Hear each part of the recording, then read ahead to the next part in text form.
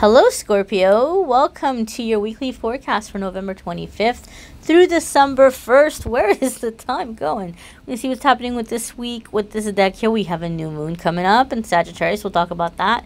And we're going to pull a blessing card for you for something to manifest in the new moon with this beautiful little blessing deck here. So stick around for that, darlings. Let's see what's happening for Scorpio, Sun, Moon, and Rising for the week ahead. What's going on? What are these new moon vibes bringing our way? Scorpio, Sun, Moon, and Rising. As always, those of you who collect cards like me, if you like the cards, it's your Monday, Tuesday. I will have the info in the description. Here's your, oops, Wednesday, Thursday. Scorpio. Wednesday, Thursday, Friday, Saturday, and Sunday. All right. All right, Monday, Tuesday for our darling Scorpios, we have nine of stars. So in this particular deck, it is a tarot deck, but uh, the creator of the deck kind of changed the um, the the suits. So stars is gonna be wands in this deck. Stars would be wands, you know, that fire kind of energy. So Scorpios, we're starting out the week Monday, Tuesday with nine of wands or nine of stars, and the creator of this deck has it listed as, as perseverance. So you might be starting off this week a little bit kind of like I'm hearing, man, like I've come so far, but there's still so much more to go, or I've gotten so much done, but there's still so much left to do. So there may be a level of frustration, and the message that I'm hearing to tell you is that it's not as bad as you think. You don't have as far to go as you're thinking. Like you're closer to accomplishing the goal than you realize. It's looking like a really big, massive thing for some of you, but you're going to climb that hurdle or, or, or finish up in no time. So that's the message I'm hearing to share with you there. I also feel, Scorpio, for some of you, what is happening is you're going through some changes in your life and you're about to embark on some really big ones. And uh, for some of you, I feel there are people in your life that mean well, but they might be coming in in a way in the beginning of the week where you feel challenged uh, I don't want to say attacked because I don't feel it's like this verbal attack or it's like somebody like, you know, like insulting you or putting you down. But I do feel you're feeling a little bit like pushed into a corner or you're feeling like like you're you're getting surprised. You're getting pulled into something you didn't want to be pulled into. It might feel uncomfortable or awkward and you might feel like somebody is like uh saying or accusing you of selling out or, or, or accusing you of like forgetting who you are or, or, or, getting a big head or that you're just you're doing things that don't make sense uh, you might be feeling a little bit ambushed in that way. Like well like where is this coming from? For some of you i do feel it's like a group of people who think that they're having some kind of an intervention or, or something like you know to kind of like talk you back to your senses. Um this is going to vary for you guys. This is like a case by case situation because these are general readings, obviously. They may or may not resonate. But I feel that for some of you that are having this happen, where there's maybe a couple of people or a few people that are sitting you down or wanting to talk to you and, and telling you that you're changing, that, that, that they don't like the direction you're going in, they don't like the path that you're going in. Understand this, Scorpio, you are a very valuable valuable person to these people. And as they see you kind of going off and doing your own thing, they're realizing that they're losing their supply with you. So even though it's a good thing for you, it's not a good thing for them. And so they're trying to hold you back down into that old energy. Understand and know this is basically letting you know that you're really, really close to that next breakthrough. Um, they see it, they know it, they sense it. They're trying to keep it from happening. Uh, but just keep moving forward. Some of you are going to be hurt. Some of you are going to be very hurt. Or you're going to be sad that there's people in your life who can't be happy for you. Like, how could you say this? How, how could you not be happy for everything I, I've accomplished? How could you not want this for me? But again, when things like this happen, they just happen to show us you know, where not to put our loyalties, right? You know, you don't want to put your loyalties with people who don't want what's best for you. You don't want to put your loyalties with people who are going to be selfish or manipulative. Um, so I do feel, Scorpio, a lot of you are very, very close to a very big goal.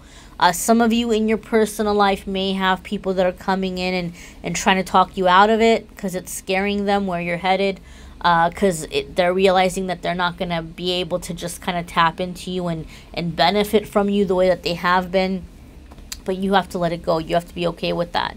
And you have to know that you're about to really come into this time of completion in a really positive and good way. Your next card, Scorpio, is Four of Trees. So this is growth. Okay. So, Scorpio, we need to have a talk. We need to have a pep talk, Scorpio. All right, so this is gonna be um, what we know in um, in traditional tarot as the Four of Pentacles. So we need to have a little bit of a pep talk here. This is what's happening. Okay, you are coming at a crossroads and you have really big changes that you've been going through for a while, Scorpio. We've been seeing this in your videos. And now that you have some, some people who maybe are not being supportive, or now that it's coming into the last few kind of minutes of like, you know, pushing, pushing through, pushing forward, some of you are feeling very discouraged this week. And when we see four of trees or four of pentacles, um, it, it, it's an energy where we get really, really, really uh, on guard. Really, maybe someone's even paranoid, right? We start putting up the walls. We start wanting to uh, be very cautious, be very careful. There could be a lot of fear around money for some of you. Now, depending on you know what part of the world that you live in? It could be a, a, bad economy regardless or you might be in a part of the world where we're preparing for holidays and there's a lot of stress and there's a lot of pressure on people like to you know to cook for everybody to feed everybody to buy everybody presents and and it can be very expensive and so that could be a stress that a lot of you are beginning to think about as well but when when this card comes up, it's saying it's a chance for us to grow and to come out of that. It's a chance for us not to be in the mind of lack, not to be in the mind of limitations. So Scorpio, in the middle of the week, I want you to keep something in mind. We've got this new moon in Sagittarius happening. For some people, it's going to cause conflict. And I do see that might be an issue for some of you in that beginning of the week. There might be some kind of conflict, but don't allow this to put you in fear because I feel like what's happening is somebody's making you feel guilty, like you're leaving them behind. Like you're gonna go and you're gonna have this great life and, and you're gonna be making this money and you're being selfish and you're keeping it all to, to, to yourself. Even if they don't flat out tell you that, some of you are having someone who's making you feel that way. And this is saying you need to understand and know something. You cannot control the world. You cannot control the environment. You cannot you really can't make that other person's life better. They have to do it for themselves. So it's not about you. Remind yourself that. Let's say this is not about me.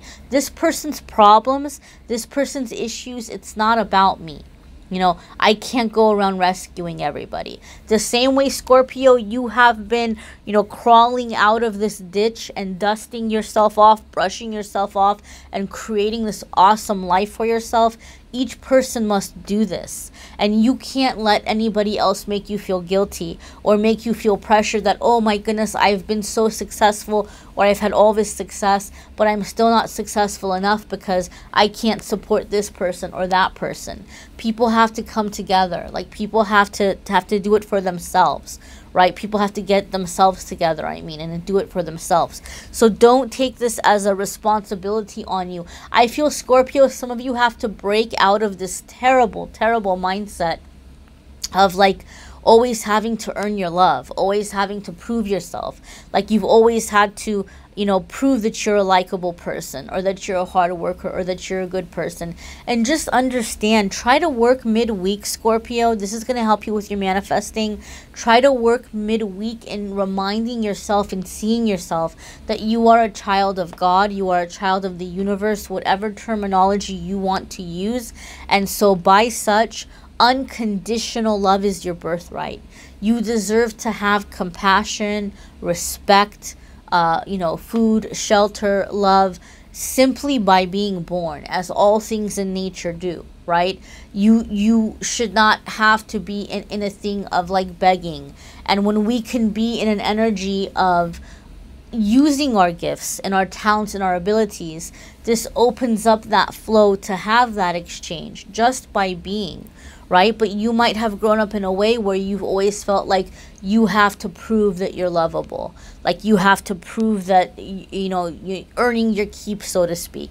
And this is the time of you realizing that you deserve to be loved regardless. Now, this doesn't mean that you want to put yourself in a situation where you're like, "Oh, I'm not going to work, I'm not going to contribute, I'm not going to do anything and you all just you all just have to, you know, take care of me." That that's that's a whole other extreme. That's a whole other whole other thing. No, no, we're not saying that, but we're just saying to know and to understand your worth, to be loved, to be worth something, to be a person, to be of value, to be equal to everybody else. You already are. It's not about how much money you're making or what job you have or what you're doing for anybody else. Anyone that makes you feel unlovable, um, you know, because you're not jumping through enough hoops, that's that's a toxic thing. So I'm talking about just that free flowing exchange of natural love. You are worthy of that. So practice reminding yourself of your worthiness. Practice reminding yourself of your deservingness. You know, that, that just as, as a child of God, as a child of universe, you deserve every good gift and every good blessing. So maybe work on that midweek, you guys. Maybe uh, remind yourself of this midweek. Your Friday, Saturday, and Sunday is the force, all right? The strength card. So um, this is coming up. Uh, it's a major arcana card. Keep this in mind. So a lot of you are going to be manifesting something really big in this Sagittarius new moon. When this when the major arcana cards come up, this is not something that's going to last a day or two, okay? Major Arcana cards are cards that come up when we're at a significant crossroads, when something has to do with a life lesson or life purpose or life path. So it's pretty safe to say whatever's happening at the end of the week is the start of a new chapter in your life or the start of a new journey, okay? The Strength card is coming up and letting you know that this is taking you in a new direction and this is taking you out into the unknown. For me, the strength card is something I associate with, you know, having to be strong because you're in some unfamiliar territory that might make you feel a little bit vulnerable. And you have to kind of master the monsters and the beasts and the wild animals along the way, which you are going to do very successfully, might I add, as long as you don't give up on yourself. There, there's a level of commitment that comes in with that strength card. To, to be committed to yourself to be loyal to yourself. If you want to have people in your life that aren't going to quit on you that aren't going to flake on you you know then you need to not flake on yourself and be committed to yourself and what you're trying to create and what you're trying to manifest. So um, i do feel scorpio that some of you this week or having to make some difficult decisions about who you're going to be distancing yourself from. And this is going to require for you to be strong. For other ones of you, if you are a Scorpio with Sagittarius in your chart, um, or maybe not, maybe you don't, maybe not even, maybe it's still, but for some of you Scorpios, what is happening is that you're coming into an element of really coming into uh, manifesting a level of success for yourself, breaking out of financial obstacles. Um, I think this is really what the conflict is for some of you. Even those of you that in the beginning of the week you have people coming at you, they might be coming at you in a way like you're being selfish or you're not doing enough financially or something. But I think that you're coming into this financial blessing, you're coming into this financial growth. And so as a result, you're coming into like new groups of people, right? As you're becoming more successful, you're going to be meeting people who are successful. And some of you are going to be really tempted to start comparing yourself to these people. Like, wow, this person is so educated. Or, wow, this person has so much money. Or, this person is like so you know, high up in their career and you might feel like you're just starting out or you might feel like okay, well maybe I'm coming into this money, but I don't have the education that these people have. I'm I just kind of did it in an entrepreneur way or I just kind of different way. And so you might be feeling um, unworthy or you might be feeling uh, like you don't belong there. Understand Spirit is saying you do belong there. You're becoming more successful, so you're going to be around more successful people. You know, you, you're ready to be there. That's why you're there. Don't look at it as, oh, they're better than me, or I don't belong here, or I don't fit in. Sometimes that happens, especially if you're coming out of a very um, lack mentality, like, like, a, like a lack mentality environment or a toxic environment, when you start coming into abundance and start being around people who are in that abundance mindset, you might feel a little bit like, oh, wow, like like you're not used to it and you know you might you might feel like people are looking down on you but they're not. This is the negative ego in your head telling you this. So the strength card for me is you might feel vulnerable because you're in unfamiliar territory or new territory but you're going to master it. You're going to conquer it. You've got this. That's what the strength card is about. Let's go ahead and see what your blessing card is my dears and something that maybe you can focus on manifesting in this new moon in Sagittarius on the 26th. I am going to make a um, new moon video. So if you hit uh, subscribe, you'll get a notice when that is up. Um, but we'll see what's going on here. And so you, Scorpio, this is nice. Blessing on a homecoming. So I, I, I kind of feel like a lot of you are going to be looking for home uh, with some of this conflict that might arise or realizing there are certain people that you're just not going to be able to hang with anymore, right? And as you're going through these transformations and as you're coming into new groups of people, it might feel kind of unfamiliar. You know, you might kind of feel out of your element. So here's a blessing for a homecoming to have that sense of belonging and to have that sense of home. So the blessing, my dears, and you can come back and listen to this as many times as you would like. Scorpio, this blessing is for your homecoming, for it to be one which is open to who you have become, joyous in the discovery of the changes you have made willingly, understanding of the hurts that may have happened along the road and the paths your journey took you down.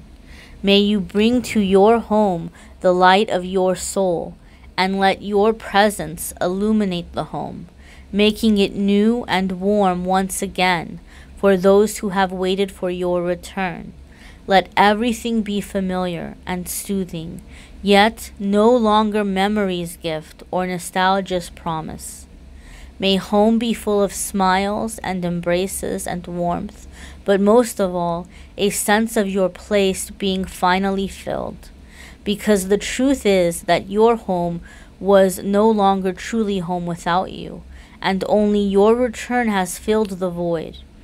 Let home's sanctuary bless you with the safest place on earth, and let home be filled with the laughter and love of kin and friend, until you can integrate who you have become while you were away with who you are now that you have returned.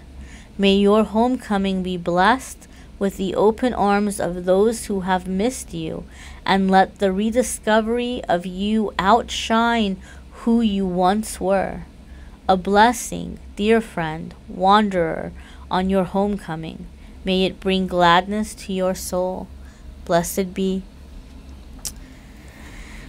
Blessed be Scorpio. There is your blessing and something you may work on manifesting in this new moon, this sense of homecoming. Um, I encourage you all to watch the channeled messages for November. The love videos for November were channeled. Um, I don't typically channel the love videos, but when I do channel, a lot of helpful stuff comes in. Even if you're not interested in romance right now, it can be helpful.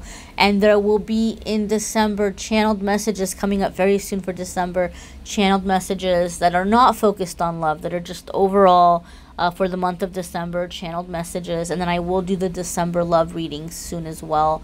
Uh, but you can click out the no check out the November ones by clicking on the links in the description. Scorpio, don't forget to watch your moon and rising videos for the week. It can be helpful. If you'd like to schedule a private uh, reading, you can click on the Calendly link in the description and schedule there. I thank you all so very much for watching, liking, sharing, commenting, subscribing. Wishing you a fabulous week, my dears.